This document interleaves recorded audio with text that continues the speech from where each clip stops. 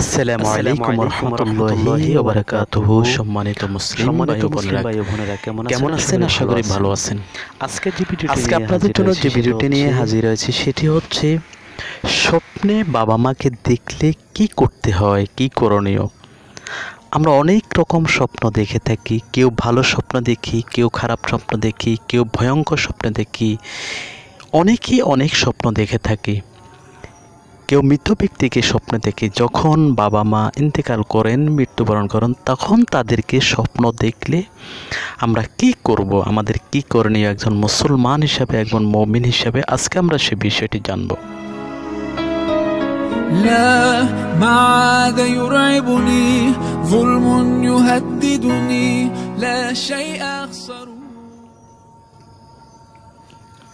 স্বপ্ন কি? স্বপ্ন তিন রকমের হয়ে থাকে। একটি হচ্ছে আমরা সারা দিন যে সমস্ত কল্পনাগুলো করে থাকি, সেগুলো স্মৃতিপটে রাতের বেলা ঘুমানোর সময় বেশি ওঠে। সেটিও স্বপ্ন।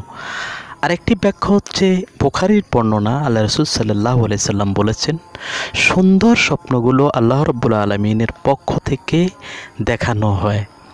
এবং খারাপ তথা মন্দ স্বপ্নগুলো শয়তানের পক্ষ থেকে দেখানো হয়। কিন্তু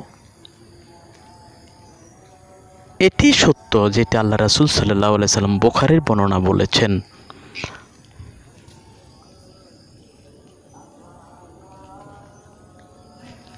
আমরা যখন বাবা মাকে স্বপ্নে দেখব, ইসলামিক স্বপ্ন, বিশারদ স্বপ্ন ব্যাখ্যাকারী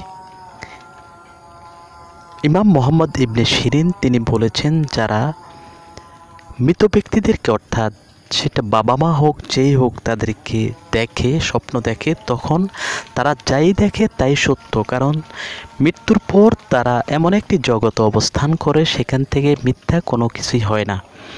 কিন্তু আমরা যারা দেখি, আমাদের দেখার হালত ভিন্ন হতে পারে। অতএব বাবা মাকে স্বপ্ন দেখার পরে আমরা কি করতে পারি? আমাদের কি করণীয় রয়েছে?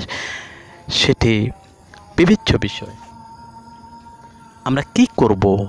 যেহেতু যদি ইবনে শিরিন স্বপ্ন ব্যাখ্যাকারে, তিনি বলেছেন, বাবা মাকে যদি দেখে জীর্ণ শীর্ণ পোশাকে, তখন তারা বুঝতে হবে তারা ভালো নেই। আর যদি তাদেরকে দেখে তারা সুটাম দেহে সুন্দর স্বাস্থ্য এবং সুন্দর পোশাকে দেখে তাহলে বুঝতে হবে তারা ভালো আছে।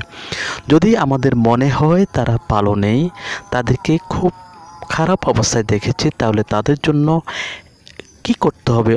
বেশি বেশি করে দান সৎকা করতে হবে। বেশি বেশি করে কোরআন তেলাওয়াত করতে হবে। তেলাওয়াতুল কোরআন তেলাওয়াত করে তার সৎকা তাদের জন্য পৌঁছাতে হবে। তার সৎকা ইসালে সোয়াব করতে হবে। এবং বেশি বেশি করে তবা ইস্তেকফার করতে হবে তাদের জন্য ইস্তেকফার করতে হবে। তাহলে আল্লাহ রব্বুল আলমিন তাদেরকে ভালো রাখবেন এবং আমাদের দোয়া কবুল করবেন।